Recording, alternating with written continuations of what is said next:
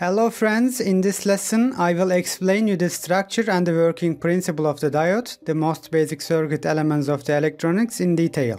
Before the structure of the diode, let's look at the electron configuration of the atoms. Atoms with 1, 2 or 3 electrons in their last orbital are conductive and those with 4 electrons are semiconductor. Semiconductors are insulators under normal circumstances but they can be made conductive by adding additives. Here, diodes are formed by doping of these semiconductors. The most commonly used semiconductors are silicium and germanium, whose crystal structure is similar to each other. While silicium is very abundant in nature, germanium is very rare. Semiconductor circuit elements are also made of silicium as it is abundant in nature. In periodic table, they are located in group 4a. The atomic number of silicium is 14 and the germanium is 32. In other words, while silicium has 14 electrons in total, germanium has 32 electrons. When we look at the atomic structure of silicium, it has 2 electrons in its first orbital, 8 in its second orbital and 4 in its last orbital. When we look at the atomic structure of germanium, as it is here, it has 2 electrons in its first orbital, 8 in its second orbital, 18 in its third orbital, and 4 in its last orbital. We have shown them in two dimensions, but they are composed of atoms that are normally joined by covalent bonds. The bond structure of silicium is as seen here. Each atom in the last orbital is situated in a covalent bond with another silicium atom. Germanium has the same bond structure. After all, it will be like this since both of them have 4 electrons in their last orbital. Here, when this structure is doped with other atoms, a new material is formed. These newly formed materials are called N-type and P-type materials. Now let's look at what these N-type and P-type materials are. Here is the antimony element structure indicated by the abbreviation Sb which has 5 electrons in its last orbital. This is an insulator since it has 5 electrons in its last orbital. When we dope antimony atom with silicium, 4 electrons in the last orbital of antimony bond with 4 silicium atoms and ultimately one electron in antimony's last orbital remains idle. The new structure formed by the doping of antimony and silicium in this way is called N-type material. Here, there is the boron element structure indicated by the abbreviation B, which has 3 electrons in its last orbital. This is a conductor because it has 3 electrons in its last orbital. This time, when we dope the boron atom with silicium, three electrons in the last orbital of boron bond with three silicium atoms.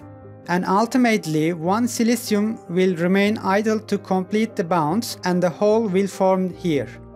Here, the new structure formed by the doping of this boron and silicium is called p-type material.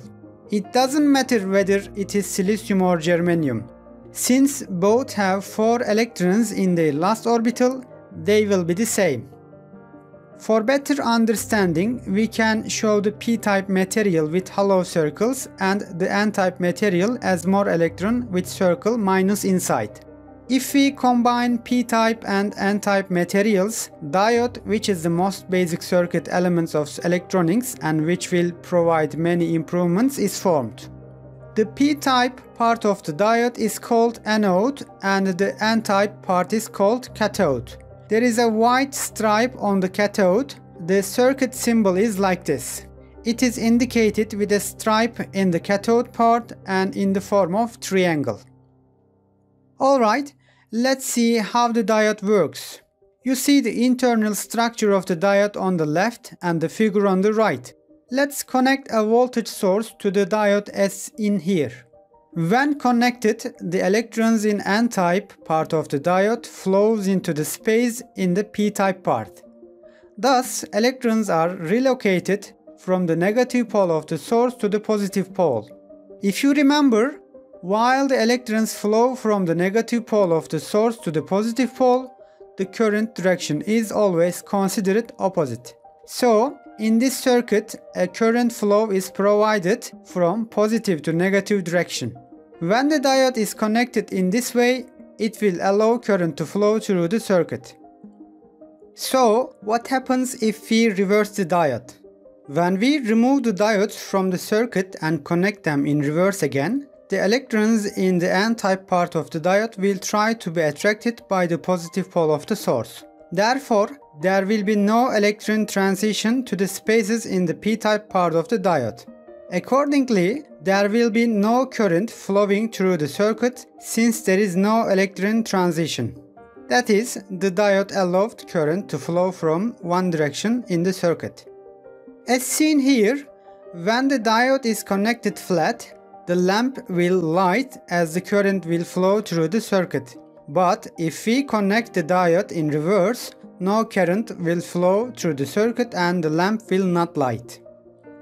Or if we connect a motor instead of a lamp, when the diode is connected flat, the motor will start because the current will flow through the circuit. But if we connected the diode in reverse, no current will flow through the circuit and the motor will not start.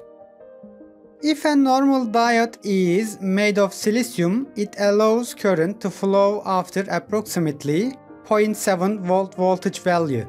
In other words, even if it is connected flat below this voltage value, it doesn't allow current to flow.